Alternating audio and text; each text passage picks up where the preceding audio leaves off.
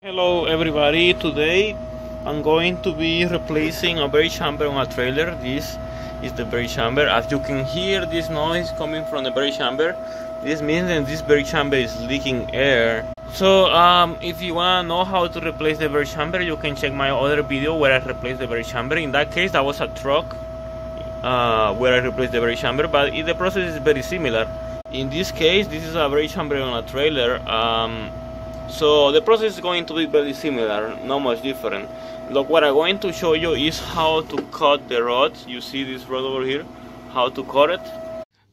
Okay, I have the brake chamber completely removed from the trailer and I have the new brake chamber right here. As you can see, this is a universal brake chamber. So this brake chamber will work with many different type of trailers. In this case, because I'm replacing a trailer, but it will be similar for trucks. Uh, you will have the universal brake chamber a rod over here pushing rod and with the thread all the way to the down to down over here so you can cut it wherever you actually need it. Um, there is one important uh, stuff that you need to check when you are buying a universal brake chamber is then uh, you see this over here. This is the number uh, you have to actually see the stroke over here. This is the part number right? So you can measure it you can compare it if it cross with the part number.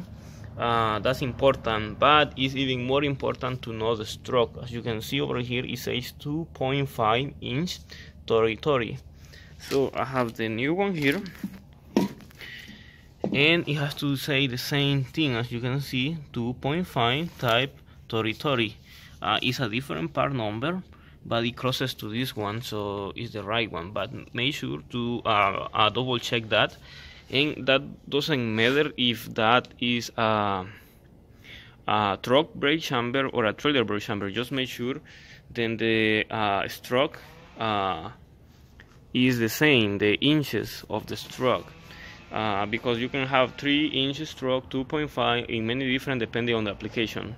If you install the incorrect one you wanna have uh, less braking power every time you applying the brakes. So now the next step is to cut this uh, brake chamber to the right length. So I need to get a measure tape and measure the distance of the length over here. You can see it is like one foot and half of inch over here a little more. So I'm gonna check for the same thing over here. I wanna cut it in the same place. It's right here as you can see. I'm gonna cut it right there. Double check the length uh, before cutting the rod the pushing rod of the brake chamber. After knowing the right length of the brake chamber insert this nut over here this is very important don't forget it. Uh, this will prevent to damage the thread. So once it's in I'm gonna cut it to the right length with a little grinder that I have here. Once the brake chamber pushing rod is cut to the right length I'm going to remove the locking nut over here. It will get tight because the damage is over here because we cut. So we wanna remake that by forcing the knot its way out and then we wanna bring it in so we can remake that small amount of thread that got damaged when we cut it. So the thread is already remade. I already uh, removed the knot over here and I put it back. Uh, so now it's time to install the new clevis this one has the welded clevis that's right we cannot reuse that clevis. So I'm going to install this new clevis. It should be going easy with no problems at all.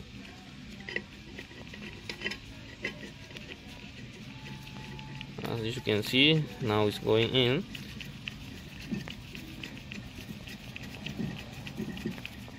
So the next step is to get the measure tape again and measure the length of the uh, rod until here this area over here.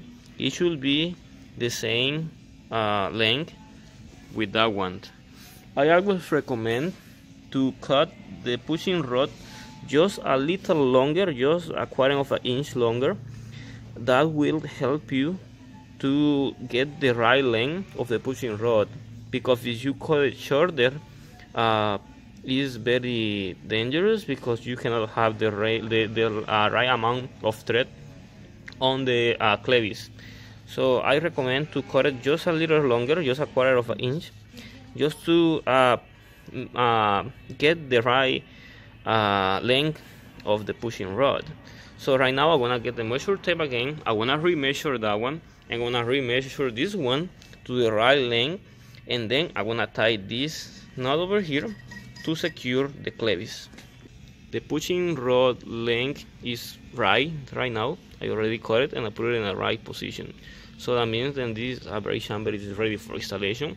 Remember to tie this uh, knot that secures the clevis very well tight it really tight because this is very important. So this is all about this uh, brake chamber uh, replacement. This will be universal brake chamber replacement. Um, if you want to know how to remove the brake chamber you can check my other video at the description below how to replace the brake chamber. Uh, in this case I'm showing you how to cut the brake chamber when this is universal when you have a welded clevis you don't have to do this but in many cases you don't have the welded clevis brake chamber which is the original. You have a universal one. Uh, just make sure to get the details and I'll show you to, to prevent any problems when you are replacing the brake chamber. If you have any questions about this video just comment below and I'll try to answer them as soon as I can. Um, if you have any recommendation any suggestions any experience about this uh, you can comment as well and share your opinions. If you want to support my channel you can check the video description below for details how to send support to my channel so i can continue making helpful videos for everybody. So like share subscribe and thank you for watching